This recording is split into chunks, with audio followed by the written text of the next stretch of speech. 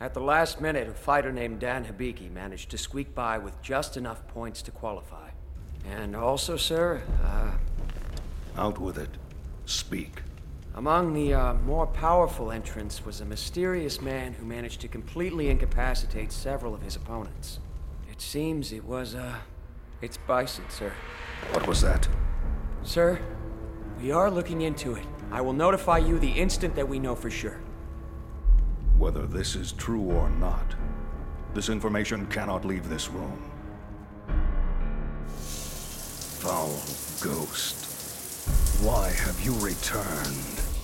Something must be done before the old Shadaloo rises again. I will show the world that Bison is nothing more than a ghost.